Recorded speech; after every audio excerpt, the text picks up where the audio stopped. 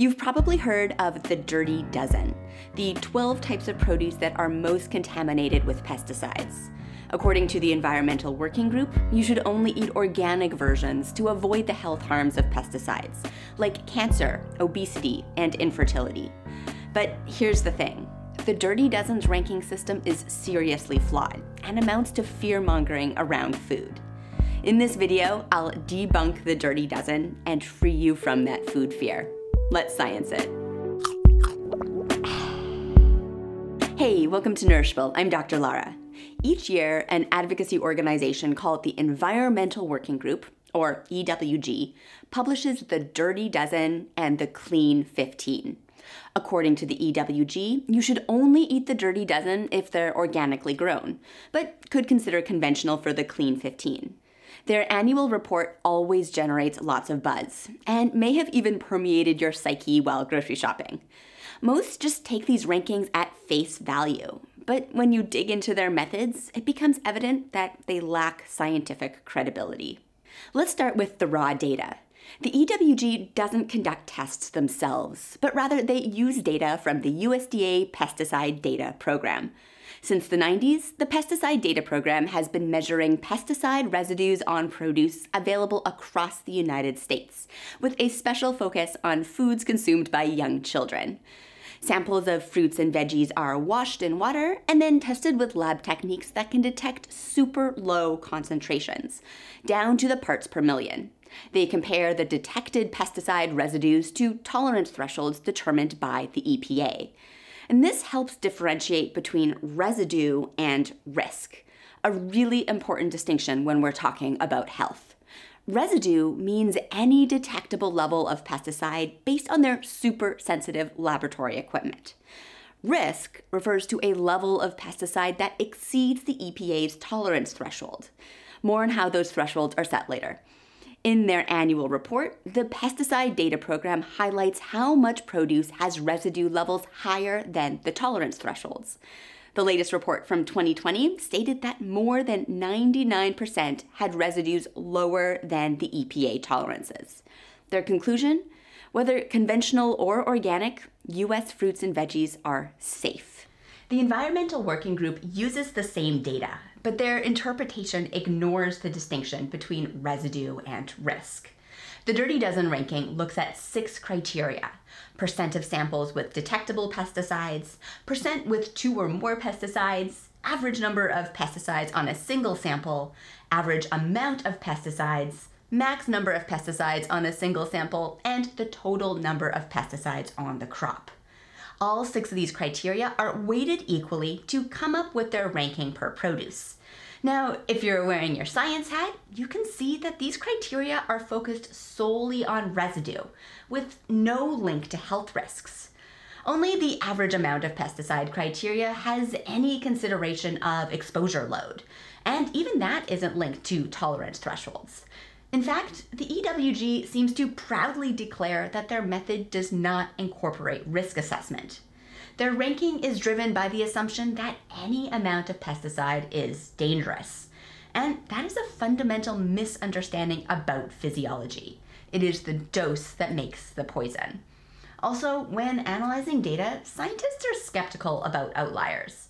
It's like if you wanted to know the average income of patrons at your local diner, and then Elon Musk walks in. Your average is going to be heavily skewed towards your Elon outlier. But in this ranking system, they actually weight their data towards the outliers with this max number of pesticides on a single sample criteria. To me, ignoring any level of risk assessment makes the Dirty Dozen void of scientific credibility. This has been the interpretation of other scientists, too.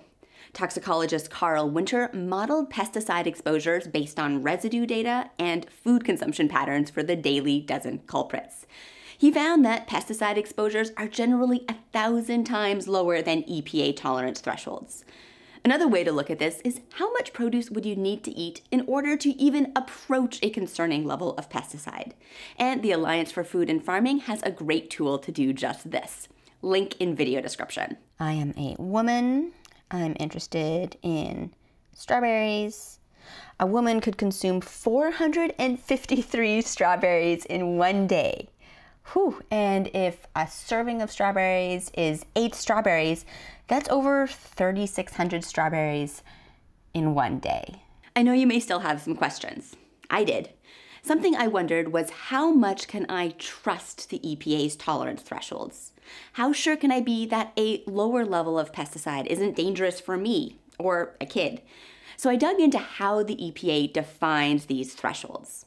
Pesticide risks depend on two things toxicity, or how poisonous it is, and exposure, or how much.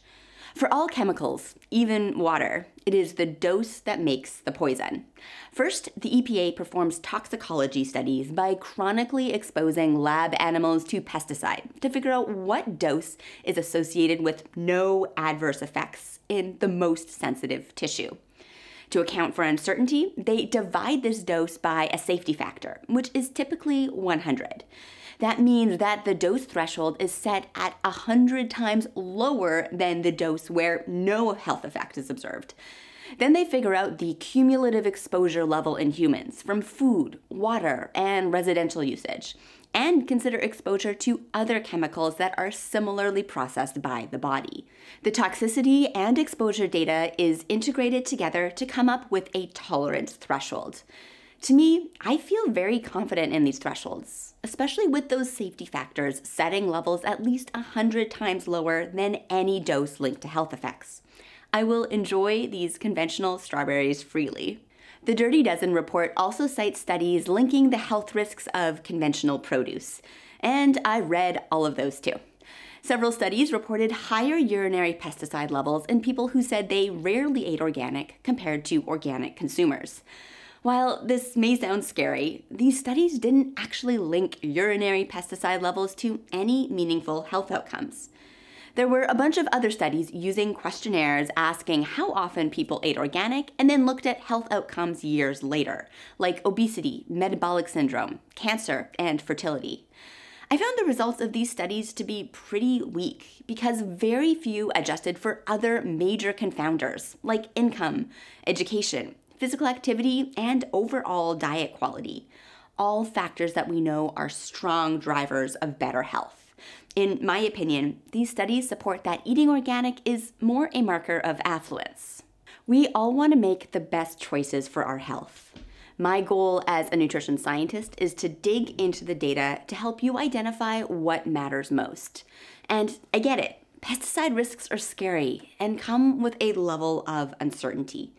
But there have been studies that put those risks into context. My point is not to debate organic versus conventional farming. I am a strong advocate for choice. It's a common myth that pesticides are not used in organic agriculture. Only specific pesticides are permitted for organic growing. What I am critiquing is the method used by the Environmental Working Group to generate their dirty dozen list. The reason I get so fired up about this is because they're fear mongering around safe and healthy food. Their dirty dozen implies that if you care about your health, or the health of your kid that you have to eat organic. There just isn't data to support that organic is healthier based on pesticides or anything else. What there is ample, consistent, and compelling data on is that eating more fruits and vegetables is healthier. One of the most impactful things you can do to improve your health is eat more plants. Organic food is more expensive and inaccessible to many people. There's also evidence that Dirty Dozen messaging may reduce consumption of all produce. When lower income shoppers were told on a survey about the Dirty Dozen, 15% said that they were less likely to purchase fruits or vegetables of any kinds. The fear mongering is real. So, what do we do with this information? First, disregard the dirty dozen. Then, aim to eat more fruits and veggies of all kinds. Conventional or organic, it's your choice, depending on what is available, accessible, and delicious to you. Your microbiome will thank you for that diversity. It's always a good idea to wash your produce before eating it. That can mean rinsing underwater for about 15 seconds or scrubbing tough skin produce with a brush. And most important, just get jazzed about fruits and veggies. There you have it, the dirty dozen debunked. That's what science tastes like. Thanks for tuning in to Nourishable. Check out all my references in the video description and be sure to subscribe to stay up to date on all things nutrition.